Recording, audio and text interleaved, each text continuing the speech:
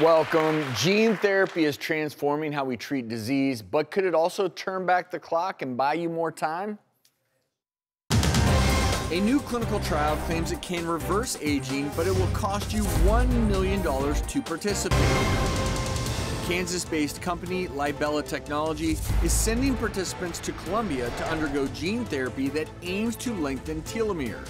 These are these structures at the end of our chromosomes that protect DNA during cell division, similar to caps on the end of our shoelaces. But telomeres shorten each time a cell divides, and some believe the shorter the telomeres, the faster we age.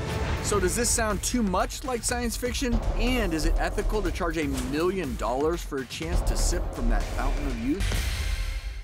So should we and can we cure aging? Molecular biologist Dr. Bill Andrews says we can and we should. He joins us in the audience and his opposition bioethicist Dr. Craig Klugman joins us via Skype. Want to thank both of you yes. so much for being here. Thank Fascinating you. topic.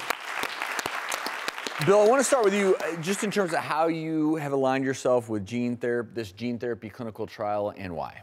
Well, I've been interested in uh, finding the cure for aging ever since I was 10 years old when my father first put the seed in my head. For about the last 25 years, I've been focused on trying to understand the role that telomeres play in the aging process. And as a result, I've invented this technology now that it's being used in this study, and I also wrote the clinical protocols that are being used in the study. Your view on this is that you kind of consider aging to be a terminal disease, correct?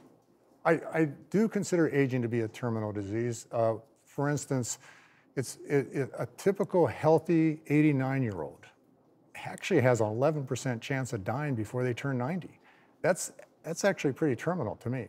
Also, the people in this study, their risk of not being treated will be far greater than the risk of being treated, especially people that are old, like 89 years old, 90 years old. Well, Bill, what, what catches us all by a little bit by surprise is the price tag to be part of a trial.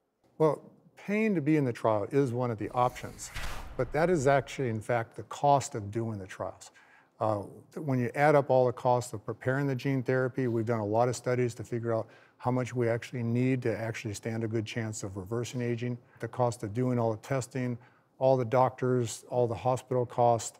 Uh, we're doing 150 different biomarkers of aging during the study this comes out to be a million dollars. That's that's the cost to my company or the company that's doing actually the clinical study. Bill, have we done animal studies yet? What have you found in animals? A Sufficient number of my studies have been done. We have provided the technology to labs all over the world, and it has been successfully shown to be able to reverse aging in mice in every way imaginable.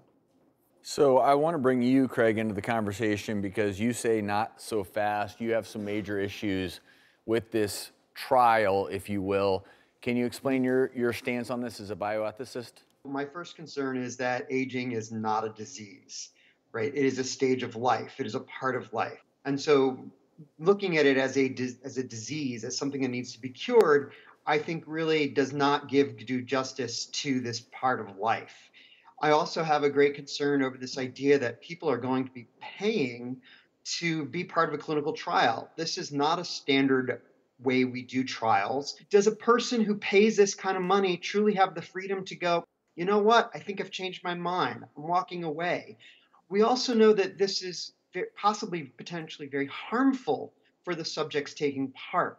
We've had people die from earlier stages of genetic trials of this sort. There have been tumors that have been created and cancers that people have come from being part of these trials.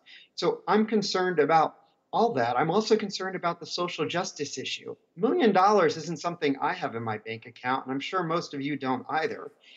Is this where we should be putting our emphasis as a society on giving very wealthy people the ability to live a longer life while other people go without food and clothing and housing and education, which are the things we know help most people live longer, better lives?